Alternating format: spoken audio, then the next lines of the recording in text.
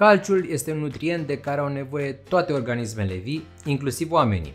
Este cel mai abundent mineral din organism și este vital pentru sănătatea noastră.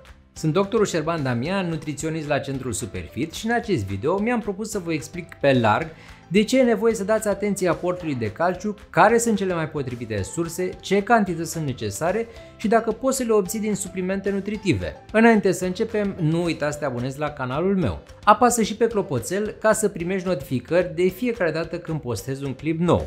Oamenii au nevoie de calciu pentru a dezvolta și menține oase puternice. 99% din calciu conținut în organism se află în oase și dinți. De asemenea, acest mineral este necesar pentru funcționarea sistemului nervos central, contracțiile musculare, inclusiv cele ale mușchiului cardiac. Calciul se găsește în mod natural în multe alimente, iar producătorii de alimente îl adaugă și la anumite produse. Sunt disponibile și suplimente alimentare ce conțin calciu. Pe lângă calciu, oamenii au nevoie și de vitamina D, deoarece această vitamină ajută organismul să absorbă calciul. Vitamina D provine din ulei de pește, semințe, produse lactate fortificate, dar și prin expunerea la lumina soarelui. Pentru început, hai să vorbim despre rolurile pe care le are calciu în organismul uman. Așa cum învățăm încă de mici, calciul este esențial pentru sănătatea oaselor. El este esențial pentru dezvoltarea, creșterea și întreținerea structurii osoase. Pe măsură ce copiii cresc, calciu contribuie la dezvoltarea oaselor lor. După ce o persoană încetează să crească, calciu continuă să ajute la menținerea structurii oaselor. La persoanele în vârstă, aportul optim limitează reducerea densității osoase, care este un efect natural al procesului de îmbătrânire. De reținut că femeile la menopauză suferă o reducere a densității osoase într-un ritm mai accelerat decât bărbații sau persoanele mai tinere și astfel au un risc mai mare de a dezvolta osteoporoză. Calciu contribuie la producerea și reglarea contracțiilor musculare. Când o terminație nervoasă stimulează un mușchi, se eliberează calciu, iar proteinele din structura fibrelor musculare vor glisa, producându-se astfel contracțiile musculare. Apoi, prin eliberarea calciului, mușchiul se va relaxa. Calciul joacă un rol cheie și în coagularea sângelui. Procesul de coagulare este complex și are o serie de etape. Acestea implică o serie de molecule, inclusiv calciu. De asemenea, calciul este cofactor pentru multe enzime.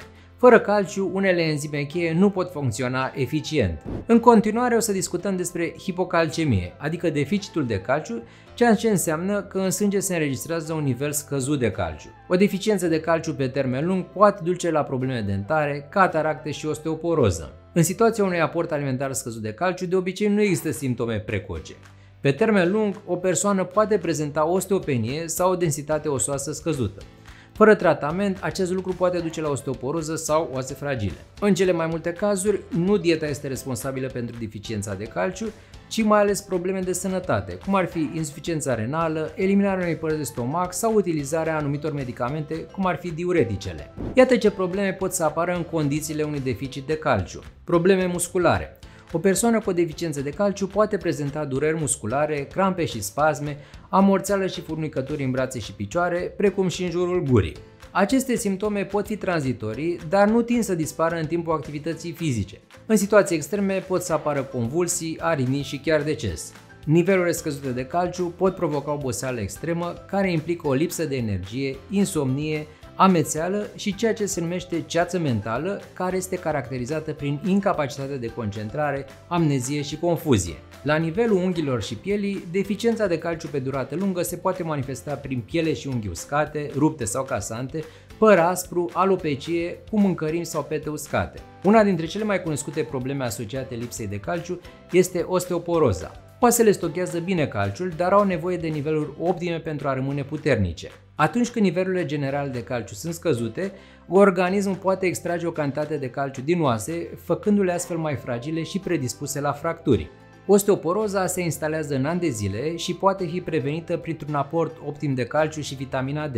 Și la nivelul danturii pot să apară probleme, respectiv carii, dinți fragili, gingii iritate, rădăcini dentare slabe, iar la copii este afectată dezvoltarea dinților. Unele dovezi sugerează că deficiența de calciu poate contribui la instalarea unor tulburări de dispoziție, inclusiv depresie. Dar în ce situații poate să se instaleze deficitul de calciu? În mod obișnuit, corpul elimină o parte din calciu prin transpirație, urină și fecale. Există însă și situații particulare care pot să conducă la hipocalcemie. Deficit de vitamina D, anorexie și alte tulburări de alimentație, utilizarea pe termen lung a laxativelor sau a corticosteroizilor, consumul excesiv de magneziu, lipsa parat hormonului, excesul de proteine și sodiu în alimentație. Consumare de cofeină sau alcool, unele cancere, unele afecțiuni cum ar fi boala celiacă, boala inflamatorie intestinală, boala Crohn, pancreatita, unele proceduri chirurgicale și insuficiența renală. Mă bucur că ai rămas până aici pentru că în continuare îți voi spune ce alimente sunt bogate în calciu și nu ar trebui să lipsească din dieta ta. Toată lumea știe că lactatele sunt alimente de bază în acest sens, de aceea te încurajez să consumi frecvent iaurt, lapte, brânzeturi, dar și alternative vegetale fortificate cum ar fi laptele de soia. Alte surse bune sunt peștii mici care se consumă cu oase, așa cum ar fi sardinele sau hamsile, dar și somonul. Mai adaugă tofu, legume cu frunze verzi cum ar fi brocoli, creson și varză, cereale fortificate pentru micul dejun, sucuri de fructe fortificate, nuci și semințe, în special migdale, susan și chia, leguminoase și cereale, mălai și tortilla de porumb. Unele legume de culoare verde închis, cum ar fi spanacul, conțin calciu. Cu toate acestea, ele conțin și niveluri ridicate de acid oxalic, iar acesta reduce capacitatea organismului de a absorbi calciul conform studiilor. Probabil că te întrebi care este cantitatea de calciu de care ai nevoie zilnic. Ei bine, pentru adolescenți și adulți, dozele sunt de 1000-1200 de mg pe zi, cu diferențe între bărbați și femei și în diferitele etape ale vieții. Această cantitate poate fi acoperită din alimentele amintite mai devreme. În anumite cazuri se poate recurge la folosirea de suplimente de calciu și despre acestea vom vorbi în continuare. Este de preferat ca administrarea să se facă doar la recomandarea medicului sau nutriționistului atunci când se impune utilizarea lor. Multe suplimente cu calciu conțin și vitamina D.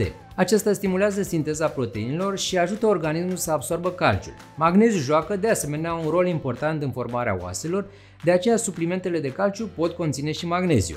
Există diferite tipuri de suplimente. Suplimentele pot conține diferite proporții de compuși de calciu și calciu elementar.